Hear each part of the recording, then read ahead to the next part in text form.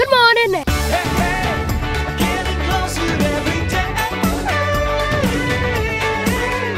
Welcome back to Yirara.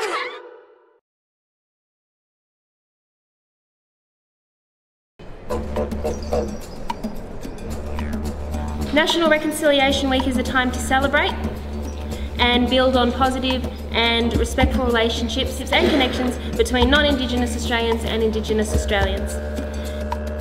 We are here to share and reflect on Sorry Day and the mark of Reconciliation Week. Reconciliation Week brings together three very important dates for our nation and the significance of recognition for Aboriginal and Torres Strait Islander peoples. This week we pay homage and acknowledge the traditional owners and custodians of this great nation of ours, both past and present. On the 26th of May, we remember and acknowledge the mistreatment of Aboriginal and Torres Strait Islander people, past and present, which we recognise today as the stolen generations. The forcible removal of children from their families and communities has been heartbreaking for many who are survivors of the stolen generation. This highly significant day is our day of healing. The 27th of May marks the anniversary of the 1967 referendum. This was a very significant time in history as Aboriginal and Torres Strait Islander people were voted in by 90% of non-Indigenous Australian population, giving us the right to vote. Equal to every Australian. Because what's walking around your college? The 3rd of June marks the historic Mabo decision. In 1992, the High Court of Australia recognised native title and that Aboriginal and Torres Strait Islander people have rights over their lands. Australia was no longer referred to as Terra Nullius.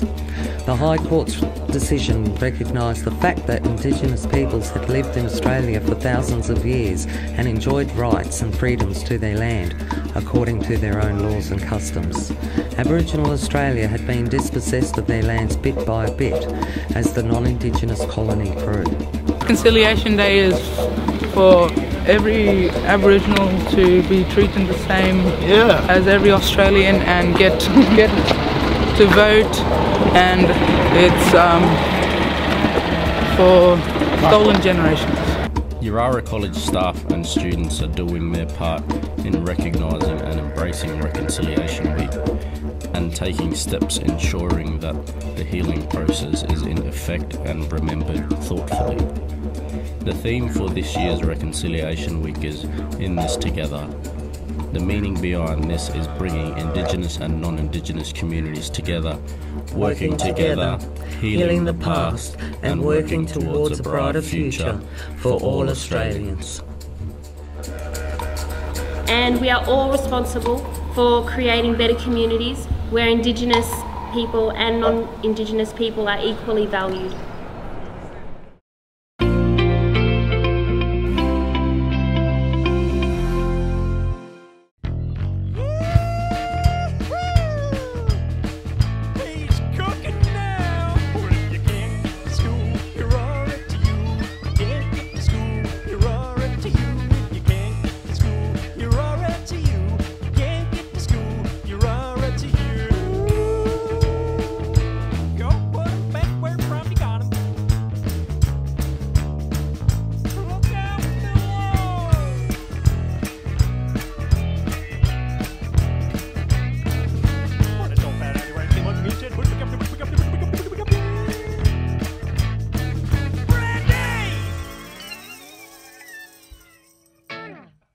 Guys, welcome to Yirara You Music. Today we're going to learn how to replace the string on an acoustic guitar. The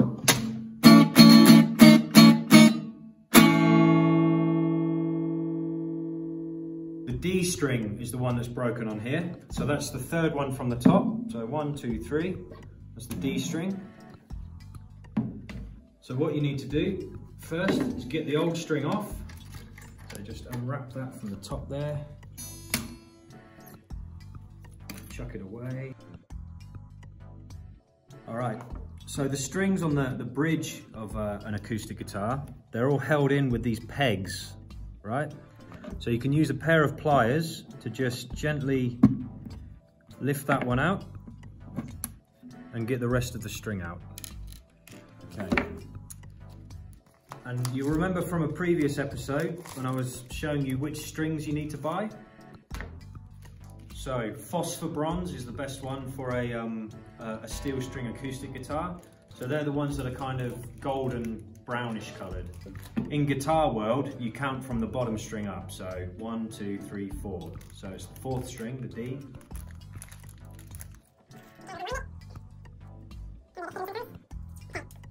So they've got these, they're called ball ends. It's like a little weight on the end where the string is wrapped around to hold it into the bridge. So grab your pin or your peg that you pulled out, put the string into the hole there, and then push the peg down and pull the string up at the same time as you're pushing the peg down, okay? So it grips it nice and tight. Pull and push as hard as you can like that, okay? And then what you need to do is you hoop it into the tuning peg like this. And then, so it needs to wrap in this direction. So it needs to come around to the left. So that's, that's anti-clockwise, that's what they call it. Okay, so when you're winding the string, make sure that it winds underneath itself. So make sure this part goes on the top, okay? So make it nice and neat like these ones. So it needs to go around two or three times so that it holds in place. Okay.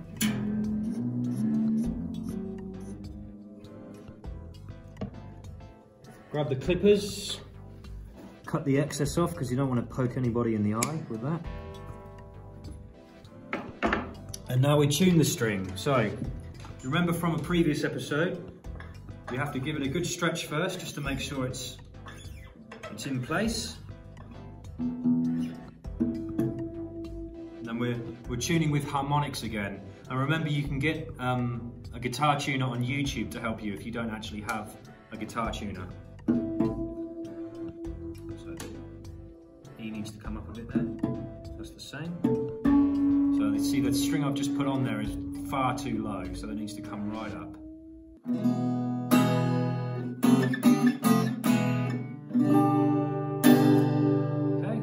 Much in tune. Thanks for watching guys, see you next time.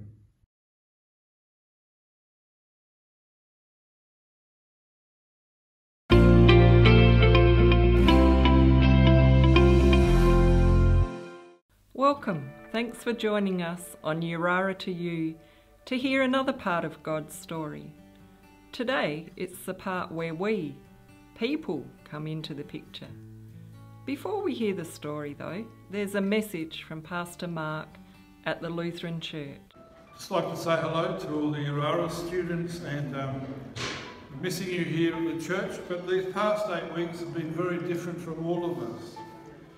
Some people have felt very alone, some have had to put plans on hold, and people like yourselves have had to stay in your communities, have not been able to go to school. Other people have had the disappointment of not being able to meet up with their family and friends, even just to go to another community. And there have been lots of other emotions that people have felt at this time. As you've probably seen on the media, some people have even been in a panic or very fearful.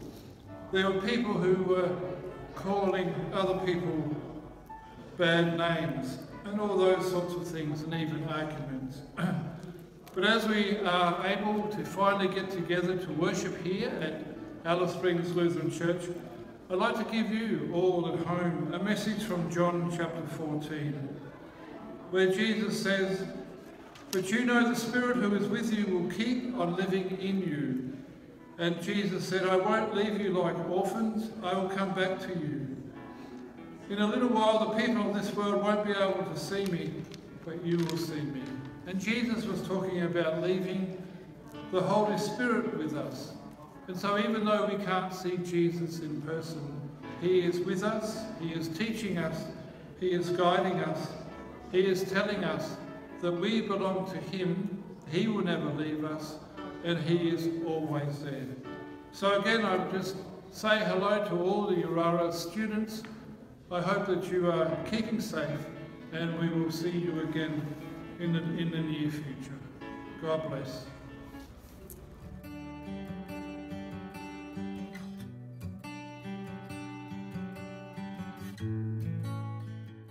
Let's have a look at the first panel of the Old Testament Bible stories that Ruth painted.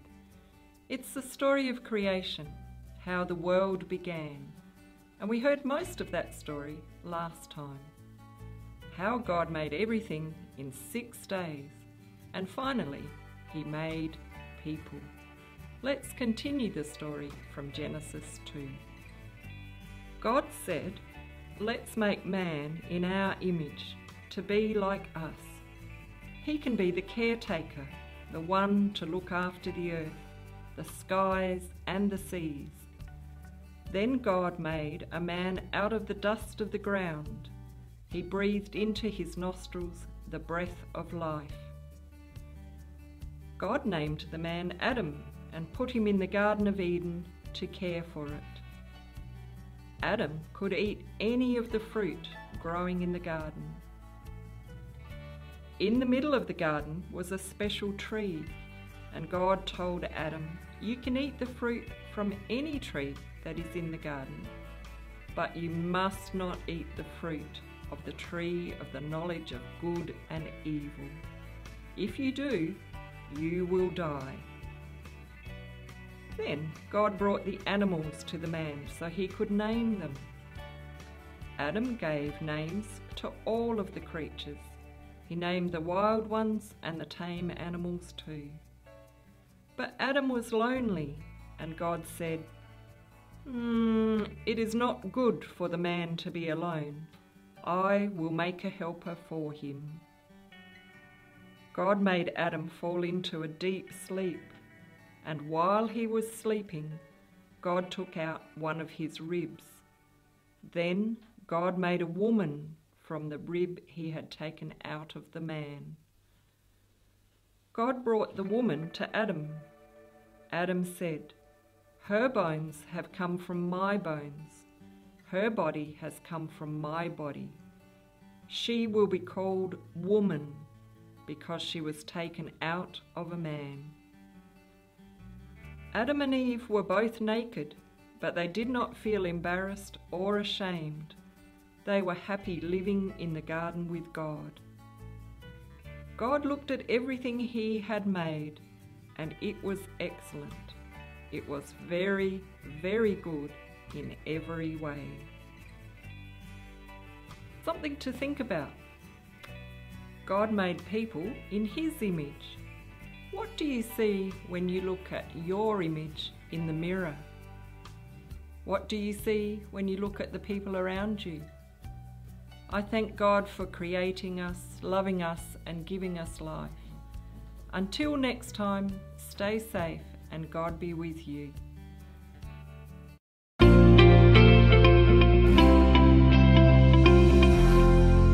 Next word we're looking at is the word sphere.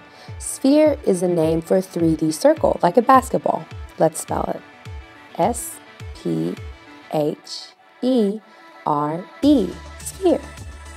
Next 3D shape is a cube. A cube is another word for any 3D square, like a Rubik's Cube or a box. Let's spell it C U B E, cube. Or another word that some people might call it is the word cuboid, written below. Our next shape is called a pyramid, which is a 3D of a triangle, something you can climb, touch, or hold. Let's spell pyramid. P Y R A M I D. Pyramid. Now, our next word is a unique word you might not have heard before called a prism. Now, a prism is a 3D shape, any 3D shape that you can cut in a particular way and it will stay the same. For example, if you slice up a loaf of bread, all the slices should look generally the same.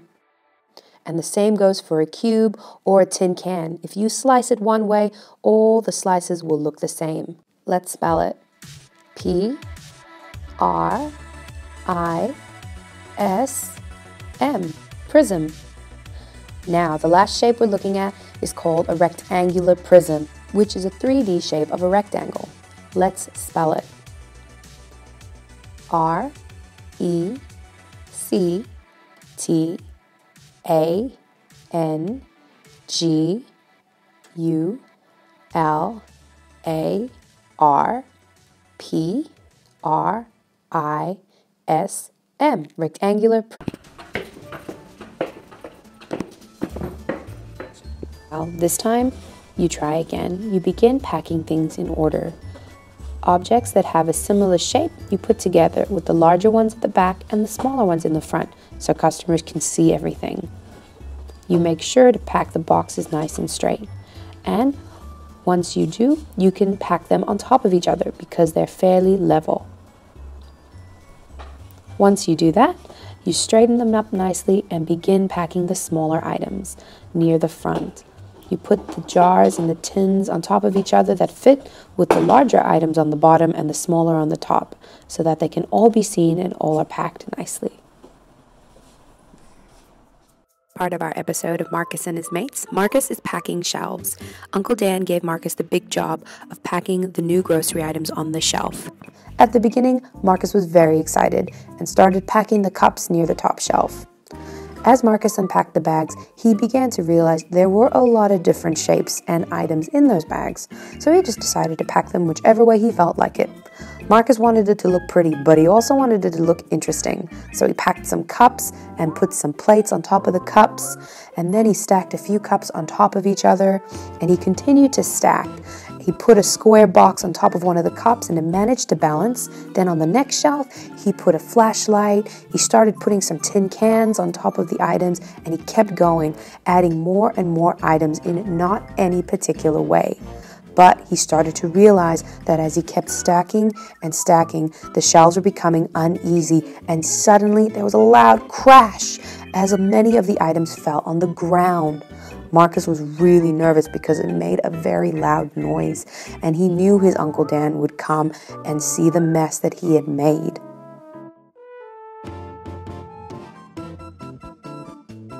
It did not take long for Uncle Dan to show up and see that all the things had fallen off the shelf, but he wasn't angry at Marcus. Instead, Uncle Dan picked up one of the cans and decided he would help Marcus and show him a proper way of packing shop items. Marcus was very excited to learn. Uncle Dan showed Marcus how items that were similar shapes that could be stacked on top of each other should remain in groups. He stacked the cups all together. Then he decided to stack all the boxes together on top of each other, making sure that the larger items were at the bottom. Then he turned the flashlights up straight to make more space, and he continued to stack the big plates at the bottom with a couple small plates on top of them. Finally, he finished off with putting the Rubik's Cubes on top of the bigger boxes and stacking the cans on top of each other. This was all to show Marcus how to properly pack the shelves. Marcus was relieved that he had learned how to pack things properly, and the shelves in the shop looked excellent. Uncle Dan was also very proud of what Marcus had learned.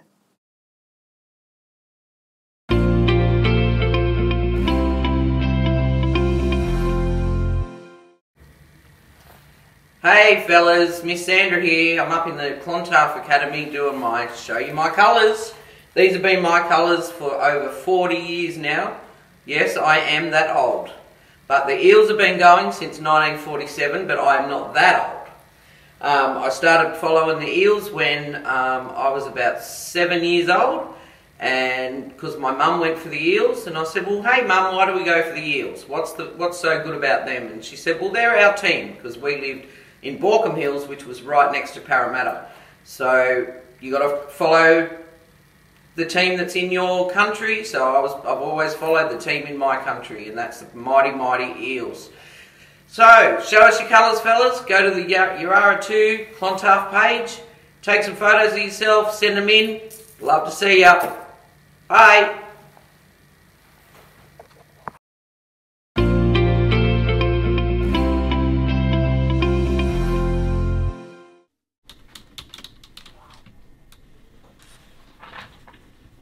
Mary Jane, can you come to the office please? Mary Jane.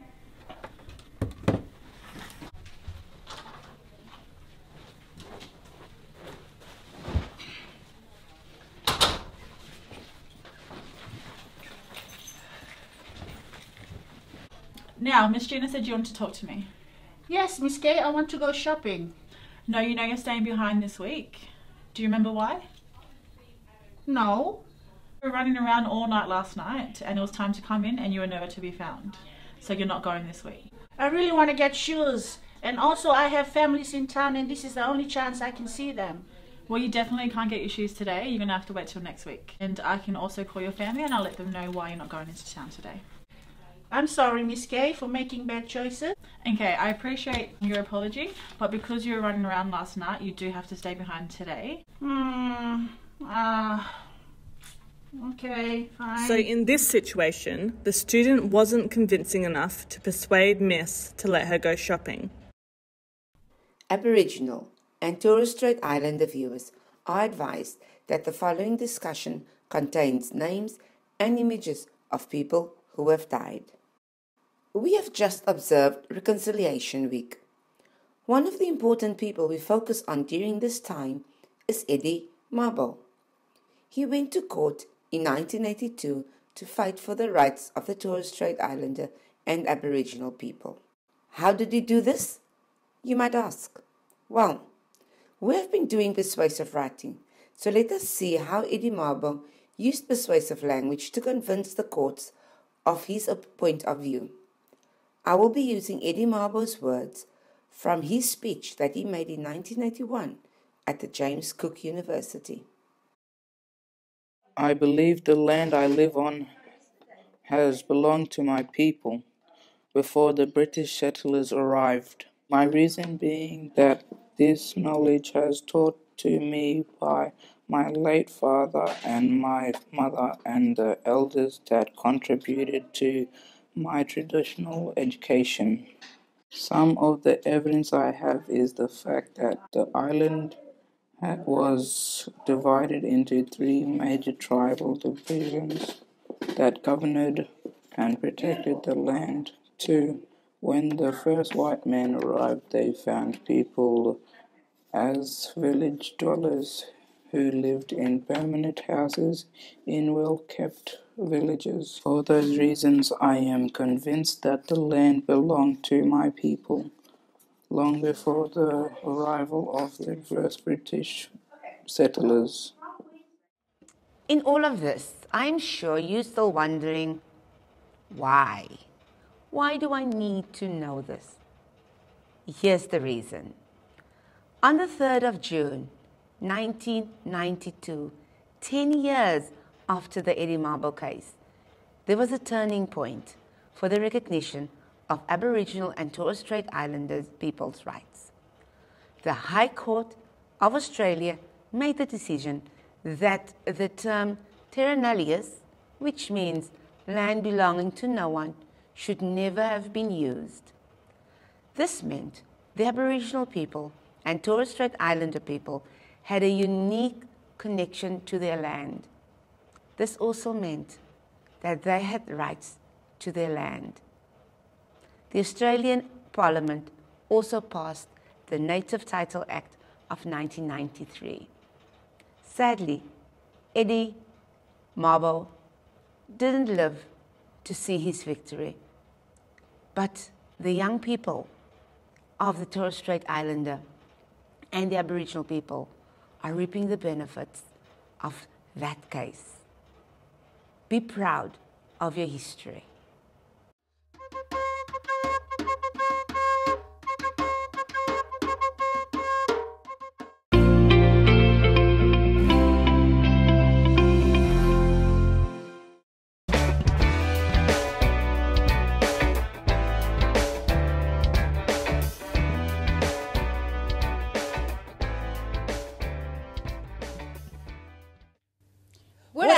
Winner! Welcome back.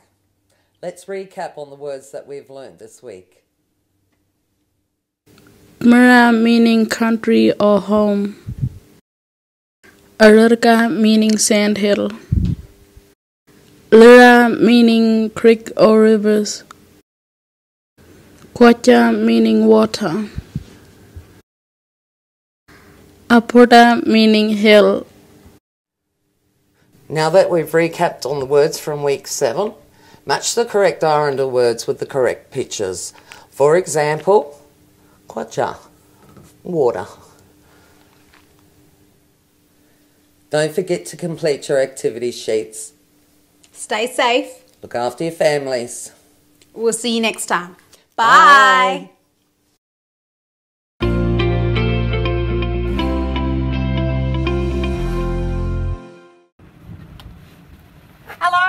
we are at Bunnings, ready to go and get some garden beds and some gardening stuff to make some gardens. See you soon.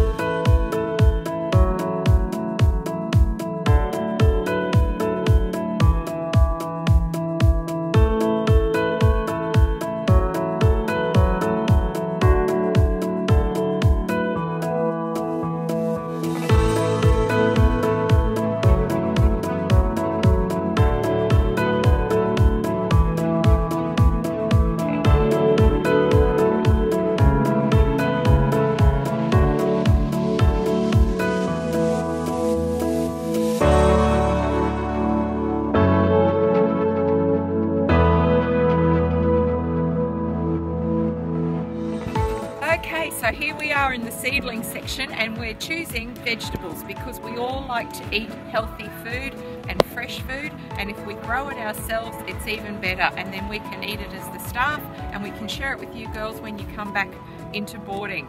So we're getting some leeks, we're going to put those in one garden bed. There's some little eggplant that we can grow that are good to cook and we'll get some spinach. Spinach is really good for you and like pak choi because that way, once again, there's lots of little plants in the punnet and we can eat that fresh or we can eat it as stir fried.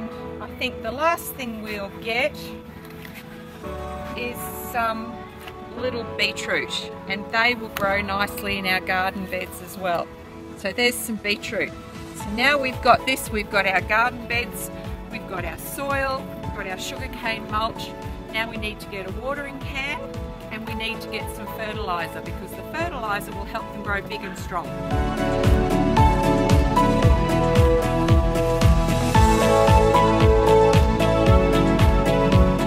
So when you come to Bunnings, it's a huge building and you have to always look around for what you get.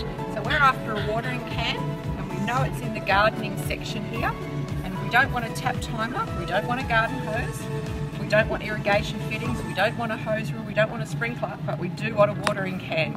So we know we're in the right place. So let's go and we'll come and get one. And here they are. And we are going for a red nine litre watering can. And what we'll do is we'll mix our fertiliser in this and we can feed our plants when they need a good feed of fertiliser. There you go. So here we are in the fertiliser department. Now it's really important that plants get fertiliser because fertiliser to plants is like food to us. We need, we need food to grow big and healthy and plants need fertiliser to grow big and healthy. So what we're going to get today is some Seasol. And Seasol, they call it a liquid fertiliser. So what we'll do is when the plants are in the ground in our garden beds, we'll mix some of this with some water and we'll use a watering can and spray it over our plants. And that's like us feeding them and they'll grow big and healthy and give us nice healthy vegetables to eat. Got everything, Miss Laura? So what have we got? We've got garden beds, we've got soil, we've got mulch, mm-hmm. we've got fertiliser, we've got a watering can, and we've got our seedlings. Yeah. So what do we have to do now? We just got to pay for it and then Pay go. it, load it in the car, and then we're back to school. Bye. We have to pay for it, and the Bunnings need to know what we're taking. So we'll scan it,